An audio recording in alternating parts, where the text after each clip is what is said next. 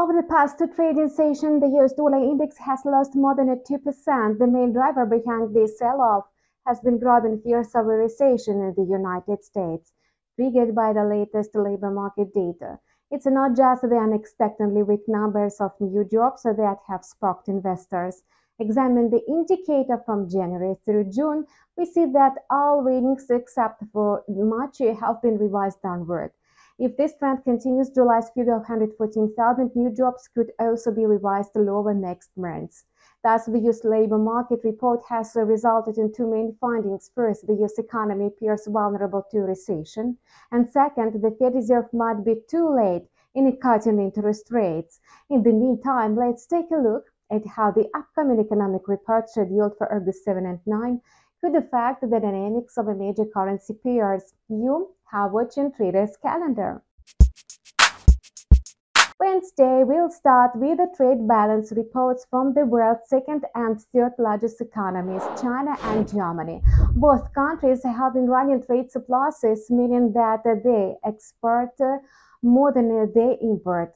Last month, China's trade surplus was just over $99 uh, the highest level since July 2022.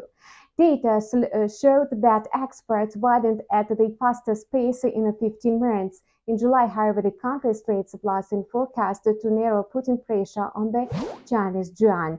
The euro-dollar pair will also come under pressure if Germany's trade balance figures meet expectations.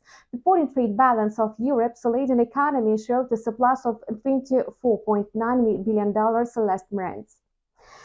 This was due to a smaller decline in exports than in imports. Exports fell by 3.6%, while imports dropped by 6.6%.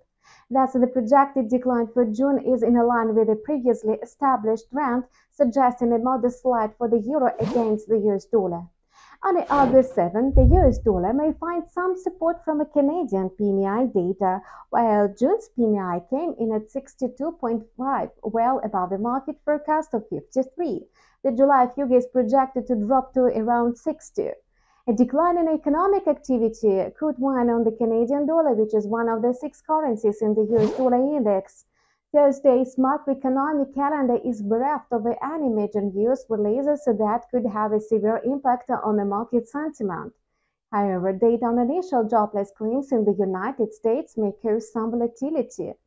Although this report is of secondary importance, labor market data is currently under close security uh, scrutiny. In except increase uh, the claims to 249 to 250 may be interrupted as a dovish signal, potentially pushing the greenback lower on the trading chart. Inflation reports from China, Germany, and other countries are due out on Friday. China is currently experiencing deflation, with the prices falling due to the lower production, sluggish consumer demand, and a weak labor market. Inflation was at just 0.2% in June, down from a 0.3% in the previous two months, while forecasts were for an uptick to 0.4%. If the July figures confirm this trend, the Chinese yuan could gain value along with the currencies that act as a liquid proxies for the yuan, such as the Australian and the New Zealand dollars.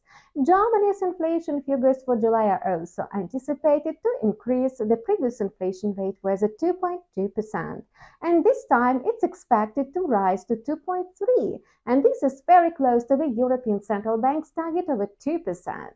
If uh, confirmed, this slight acceleration in inflation could lead to a modest rise in the euro. The end of the week will bring an inflation report from Russia. The annual inflation rate is expected to rise from a 6 point, uh, from 8.6% to 8.7. Last month's consumer prices increased across all sectors. Uh, for July's uh, higher figures, I confirmed the Russian ruble could gain value in anticipation of a potential rate hike by the central bank. How will going to be in the short term in financial markets? We will definitely tell you in our news releases. Subscribe to our channel and follow news with us. See you soon.